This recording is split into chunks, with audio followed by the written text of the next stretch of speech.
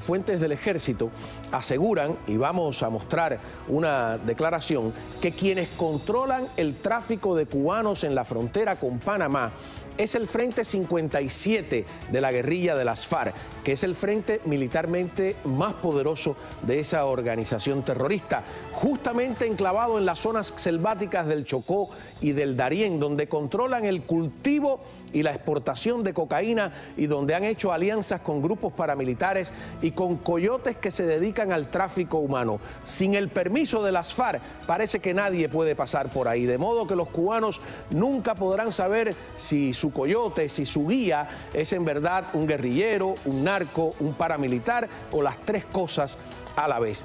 En este programa insistimos sobre el tema Repetimos, no para chivatear a nadie, no para delatar a quienes con toda razón tratan de escapar del infierno castrista, sino para advertirle de los peligros que están enfrentando, del verdadero negocio que hay montado en torno a ellos, un negocio en cifras redondas tan lucrativo como el de la cocaína a todas luces montado en La Habana con sus socios del gobierno ecuatoriano de Rafael Correa, con sus socios de la guerrilla de las FARC. Bienvenidos al espejo. Muy bien, continuamos con Andrés Enrique Urrutia, el joven impedido físico, pero no mental, porque para, para atravesar esa ruta tan peligrosa hay que tener una eh, tranquilidad mental ¿Cómo no, cómo no? tremenda, ¿no? Se suma a nuestra mesa Julio Rodríguez Hernández, que hizo otro tipo de viaje, que es desde España hasta acá. Vamos a conversar sobre ese tema. Ayer habíamos hablado de, que necesitabas una nueva prótesis, te falta la pierna prácticamente desde arriba hasta abajo. Yo prefiero mantener el teléfono, pero de todas maneras nos llamó el señor Pedro Luis Llanes Galindo, que él eh, se dedica a hacer prótesis, por lo que tengo entendido, que dice que es primo de Yossi Galindo. Yossi Galindo es mi queridísima compañera del noticiero de las 5 de la tarde y ella, él te quiere donar una prótesis. Aquí están los teléfonos, aquí está la dirección. De todas maneras, yo estoy seguro que si alguien más se quiere ofrecer a ayudarte, tenemos el número en pantalla.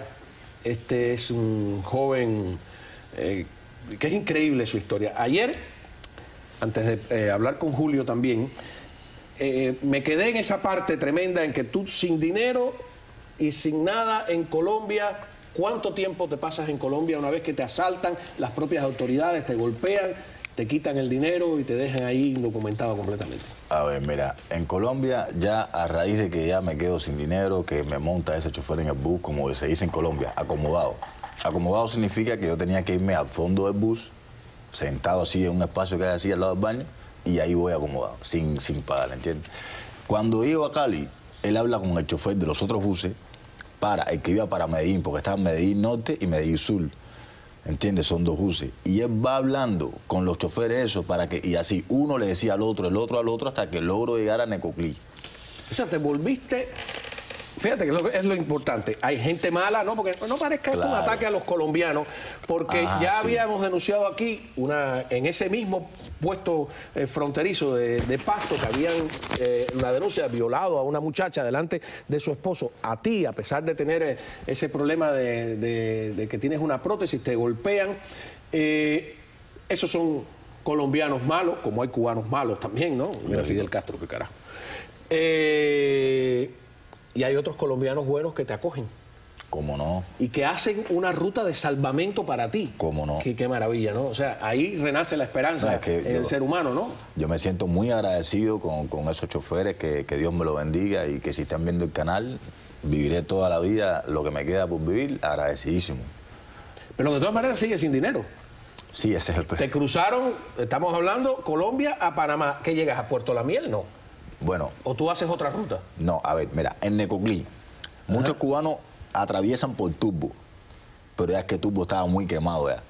Entonces estamos entrando. Es que te lleva Turbo a, Playa La Miel y a Puerto Valdía. Y a Puerto Valdía. Primero te llevan a Playa La Miel. Y después tienes que pasar una montaña. ¿Tú no pasas esa montaña? Sí, como no. Como la pierna, como la tienes. Yo subí la loma. A ver, a ver, a ver. Yo vuelvo de nuevo. Eh, a mí me resulta desagradable esto, pero yo creo que es ilustrativo. Además, todos los canales de televisión ayer eh, lo sacaron. Para quien no nos estaba viendo ayer, si tú puedes mostrarle las circunstancias en las que, en la que tú estás diciendo, me estás hablando de que, ah, que subió una montaña de mil 500 metros. ¿Cómo no? Que es casi como el pico turquío. y lloviendo de noche. Ah, sí, porque estamos en la zona, en una zona selvática. Cámara. Ajá. La cámara aquí. Tú tienes. Mira. Eso es. A ver, esto es una goma, ¿no? Aquí sí. A ver, esto es, esponja, ¿no? Esto es esponja aquí. Entonces, esto, esto es calamina, ¿ves? Esto hace un funcionamiento, no sé si la cámara, hace un funcionamiento de rodilla. no sé si ve cómo. Ajá. ¿Ves? Mira. No sé si siente el sonido, la cámara no puede ser. Hasta la, hasta la altura de casi de. Hasta ahí está la pierna. ¿Ves? Yo te he visto caminando, cojeas bastante. Sí, como no, porque. ¿Cómo rayos subes 1500 metros? Me parece. Si yo, que he estado pensando en hacer esa ruta eh, para filmarla, me lo estoy pensando. Bueno, es la verdad que me siento un cobarde cuando te veo. ¿Cómo no? Ah, es que éramos un grupo de 14, donde 7 se ponen adelante y los demás atrás. Y entonces prácticamente como que me iban remolcando, ¿entiendes? El problema mío, donde yo me caigo y sufro algunos daños, es cuando voy eh, de descendencia, bajando. Sí, porque la gente tiene que bajar además aguantándose de, Exacto, que es cuando yo caigo, ¿entiendes? ¿Por qué? Por el fango, ¿entiendes? La prótesis que no, ¿ves? Ella no hace eh, una eh. articulación, miren, no sé si la cámara me, me estará viendo, que ella ya, ya no articula, ¿no? ¿Ves? Por eso necesitas una prótesis nueva. Exacto. Ya tenemos el ofrecimiento del primo de José Galindo, puede notar, si, me puede coger la cámara, ves parado mi pierna normal, son 10 centímetros de, diferencia. De diferencia. O sea, que está mal hecha la prótesis. Exacto, sí. Mira, ¿ves? Entonces, por eso es que sufro de una hernia discal. Sí, tengo una hernia discal. Claro, por la... ¿Entiendes? Porque es el, el, el ¿ves? Mira. Entonces me paro, no sé si cuando ven que me paro la prótesis tengo que flexionar, mi rodilla se mantiene, ¿entiendes? Mira cómo tengo que pararme. Vaya, que es una cosa que... Y después en Puerto Valdía te montas en el barquito ese o allá o en avión hasta Ciudad Panamá. No, no, no, a ver, yo... Porque no tienes dinero, ¿cómo no tengo dinero, mira, yo en Puerto Valdía tuve que quedarme trabajando. Yo limpié baño en una renta que se llama la renta de Candé la pensión de Candé, una señora muy buena, si me está mirando en este momento, que Dios me la bendiga, que me dio mucha ayuda ahí en Puerto Valdía. Ahí me tocó limpiar baños, yo le limpiaba las habitaciones. Ella le cobraba a cada uno de nosotros los cubanos 5 dólares por cuarto. Entonces, un cuarto tenía dos camas, tres camas, literas, y era 5 dólares por cada cubano. Cuando ella me ve en las condiciones que yo estoy, que yo llegué y le dije a la, a la policía, le dije, mira, yo necesito, a ver si ustedes me pueden, no sé, gestionar un pasaje, ¿entiendes? El avión mínimo, la avioneta mínimo costaba eran 108 dólares. Y yo no tenía ni un dólar para comer. Entonces la policía me dice de que no, que ellos no podían pagarme la avioneta. Lo que sí me iban a garantizar era el plato de comida. El capitán de Puerto Ardilla, Osoria, si me está viendo también, que Dios me lo bendiga, me dice, mi plato de comida yo me lo quito y te lo doy. Ahora, nosotros no podemos eh, gestionarte ¿entiendes? Ni cotizar. Entonces te ganaste el dinero trabajando. Me gané el dinero trabajando. Y llegaste a Ciudad de Panamá, ¿no? todavía estamos a la mitad del camino. Tremendo, ¿no? Vamos a conversar un poquito, tienes que seguir haciendo el cuento, con Julio Rodríguez. ¿Tú?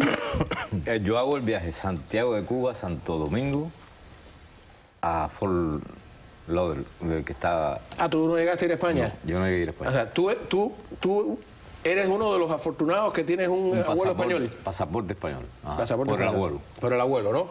El famoso abuelo de, la canción de Alberto Cortés, ¿no? Exactamente. Eh, pero ya ni se toman el trabajo de ir a España, sino que... Utilizamos diferentes países. Se utiliza mucho también, he oído la vía de unas islas en, Bahamas, uno de los dos aeropuertos, porque hay uno donde... donde Donde dejan a todos los... En Masó dejan, dejan a muchos cubanos. Pero en el otro hay otro, no recuerdo cuál es el nombre. está entrando ese sí puede, es fácil venir.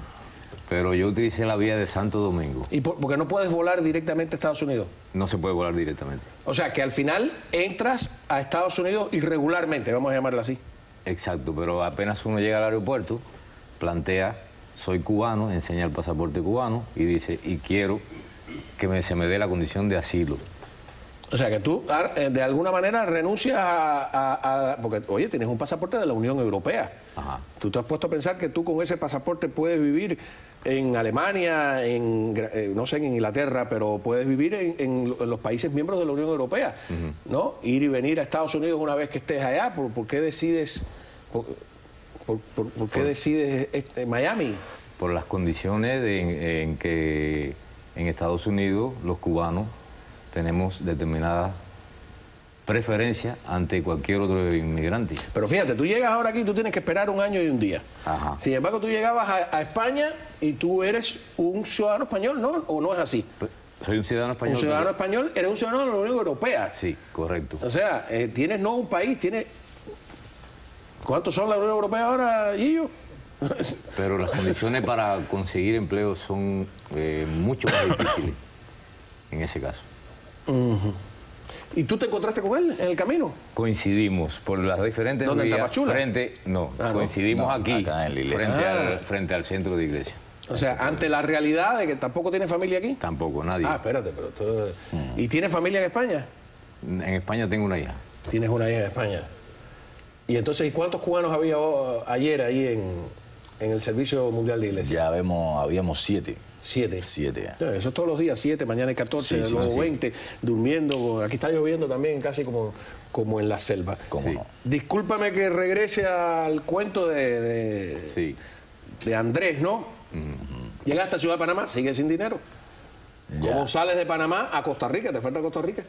Mira, en Ciudad de Panamá, bueno, ya. ¿A trabajar de nuevo? No, ya cuando iba a Ciudad de Panamá, yo tomo un bus porque yo estaba esperando el salvoconducto. Porque el que tiene familia aquí Ok, fácil, la ecuación, la familia, si te tumban, te vuelven a mandar dinero, está no está dispuesto, ayuda o no ayuda. Pero si tú no tienes familiar aquí, ¿cómo hacen la ruta? Y la están haciendo muchos, ¿eh? Sí, muchos, muchos, muchos. No, es que nos quedamos trabajando. En cada país, cuando nos quedamos sin dinero, ahí empezamos a buscar trabajo, una renta y etcétera. Por eso es que nos demoramos tanto, ¿entiendes? En la travesía. En mi caso, me quedaban unos 30 dólares de lo que hice trabajando en impuestos al día. Cuando cogí que llego a inmigración, le digo, mire, yo soy impedido físico, yo necesito a ver si puedo trabajar aquí en Ciudad de Panamá. Inmigración me dice, mira, nosotros no estamos dando salvoconducto ustedes los cubanos. Simplemente tiene 72 horas para abandonar el país.